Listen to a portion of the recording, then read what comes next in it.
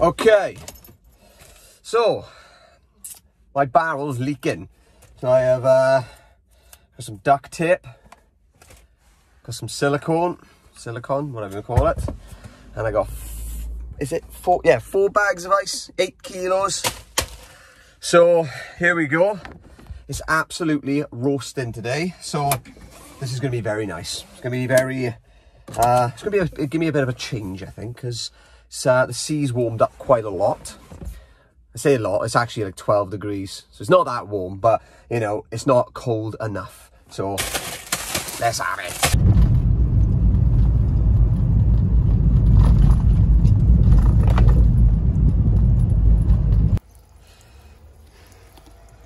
See if this does the job.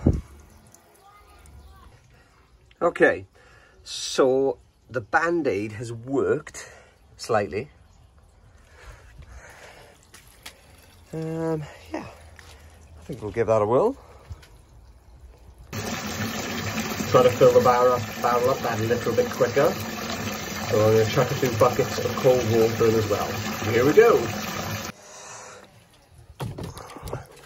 Ah, oh, fuck.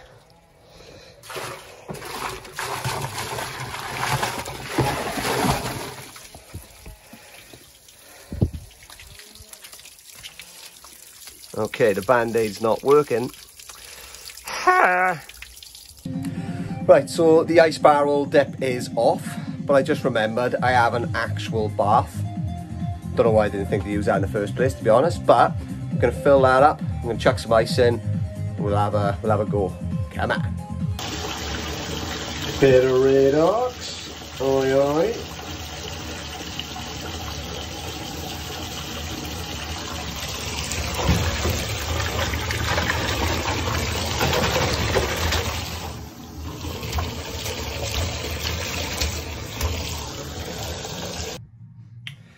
Right, so I may have gone slightly overboard with the bubble, the, the, the, the bubbles, but now we're going in with the ice.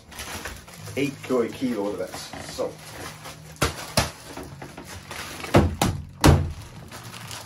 Okay, might need a hammer, but bleach should do it. Have a look.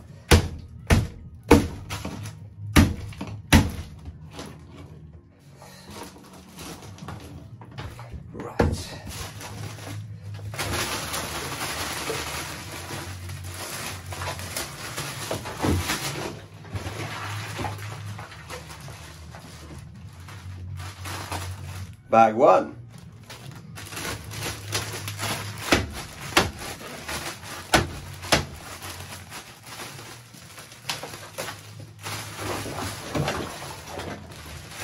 Bag two.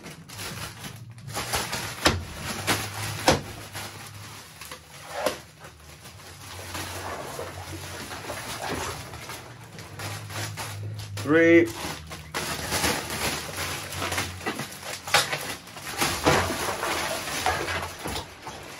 Four. Let's go.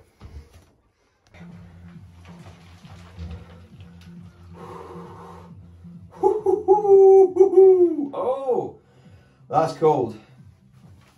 ah,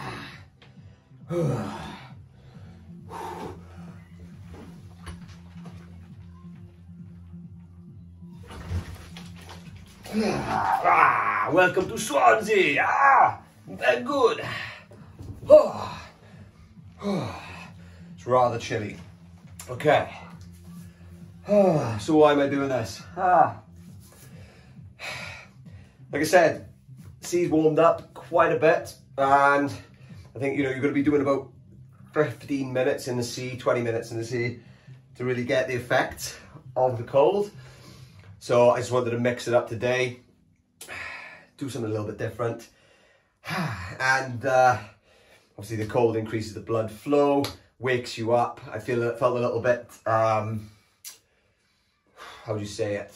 Just a bit meh, whatever meh means is. Um, yeah, just felt a little bit like that today, probably because of the weather. It's really hot. We're supposed to have a storm coming in. So yeah, I just thought this might help wake me up, which it fucking has, let's be honest. Whew.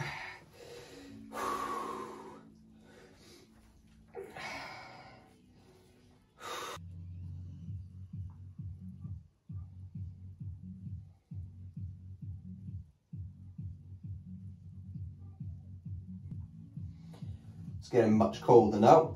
The ice has been in here for a good couple of minutes. It's all melted. Uh, and yeah, the temperature, you can feel it dropping quite a lot. Sting is starting to happen quite, uh, quite a bit now. Oh.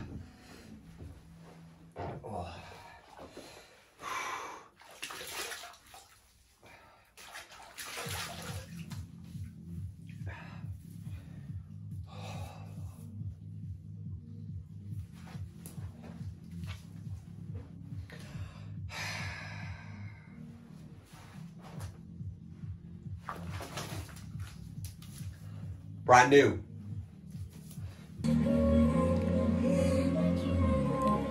Skin is a tad red. Yeah, I don't know if you can see that. Pink as tits. Very nice. Quiff Richards beer. Uh, right, so it is about an hour now after the um, ice bath. The barrel one was just a shambles, so I'm going to have to fix the barrel before I try it again. But like I said, I did kind of forget that I had a actual bath there to use, but it is what it is.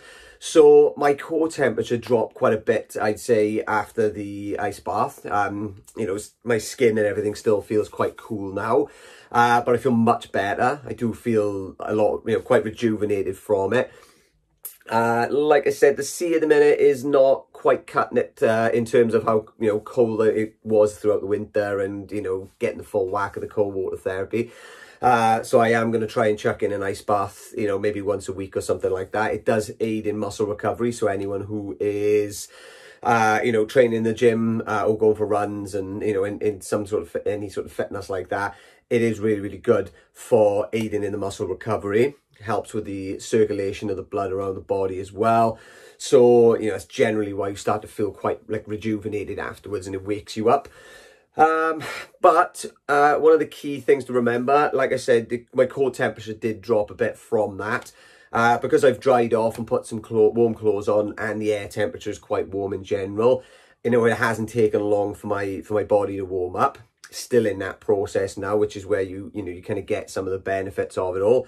But, uh, you know, if you're going to be trying it, you know, in, in the bath or whether you're going to be trying it outdoors somewhere, one of the key things is making sure that that warm up process afterwards, you know, is is done properly. Because if you remain in a cold environment, you know, and you're still shivering and really, really cold for a long time afterwards, that's when you're starting to risk things like hypothermia. So, you know, it is worth taking care in that sense.